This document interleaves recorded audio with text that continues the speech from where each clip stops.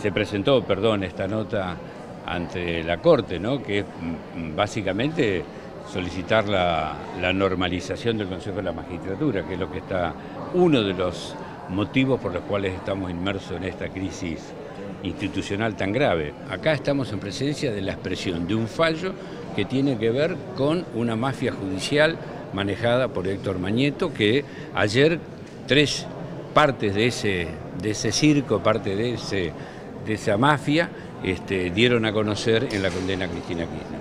La decisión que ella tomó no significa para nada que renuncie a sus convicciones ni a la conducción política, pero sí me parece que es un mensaje a todos nosotros como militantes que tenemos que asumir que la responsabilidad de la Argentina no es solo de ella, sino que también es de todos nosotros. Simplemente pensar lo que ha ocurrido ayer, que es eh, un acto de un gran renunciamiento y fundamentalmente, eh, por lo menos lo tomo yo así, un acto de traslado de responsabilidad hacia todos nosotros.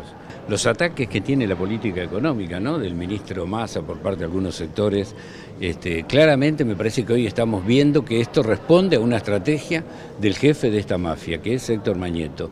Esto es una historia larga en la Argentina de persecución a dirigentes populares. Ahora se los persigue a través de la estigmatización con los medios de comunicación. Lo vimos en estos chats como al que se le opone, le buscan, eh, buscan la manera de hacerle notas y, difamarlo, y, a través del Poder Judicial con eh, encarcelamiento y proscripción, que es lo que decidieron ayer, más que meter la presa, lo que eh, el fallo simboliza es la inhabilitación perpetua para ejercer cargos públicos.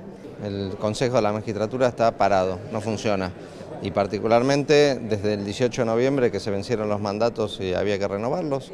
Todos los estamentos eh, eligieron los nuevos representantes, el Congreso incluido, pero la Corte decidió no tomarle juramento y que no empiece a funcionar el Consejo. Para eso le pedimos una reunión a la Corte, queremos eh, que funcione el Consejo de la Magistratura, que funcionen las instituciones, que se investigue y que se sancione a los delincuentes vestidos de magistrados.